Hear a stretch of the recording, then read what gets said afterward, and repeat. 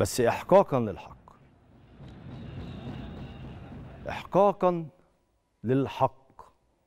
هذا الرجل لا بد أن يأخذ حقه كاملا. كاملا. محمد عبد الشافي لاعب ما بتجيش عليه الأضواء كتير. عشان هو بيبعد عن الأضواء. عشان هو بس مركز في الكورة. بس مركز في الكورة. والله الزمالك حالته وحشة هتلاقي عبد الشافي كويس. والله الزمالك حالته رائعة هتلاقي عبد الشافي كويس. والله في أزمات في نادي الزمالك هتلاقي محمد عبد الشافي كويس. والله الزمالك مستقر جدا فهتلاقي محمد عبد الشافي كويس.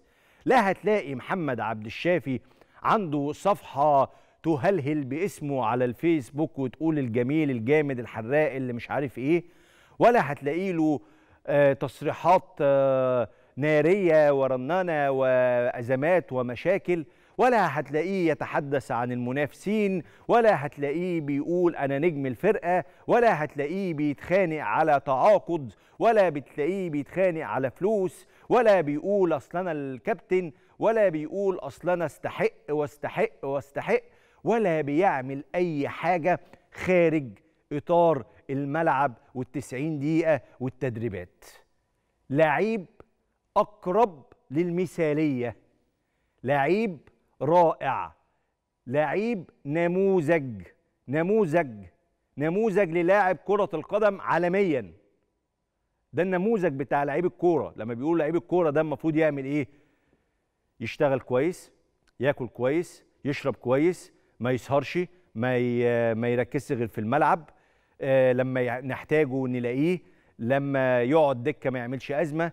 لما يبقى أساسي يبقى جيد. آه بدنيا يحافظ على نفسه عشان هو متقدم في العمر.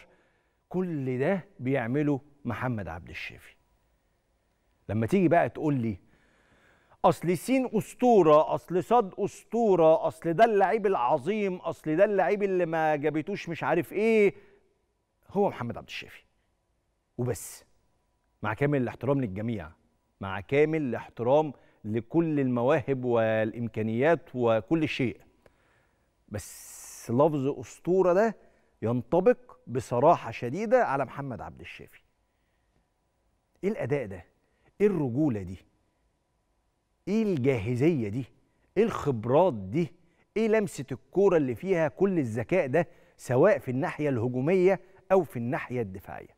فالراجل ده لازم دائما وابدا نسلط عليه الأضواء عشان هو ما بيدورش ابدا على الأضواء. فمن حقنا أو من حقه علينا إن إحنا اللي نروح ونسلط الأضواء عليه. إيه ده؟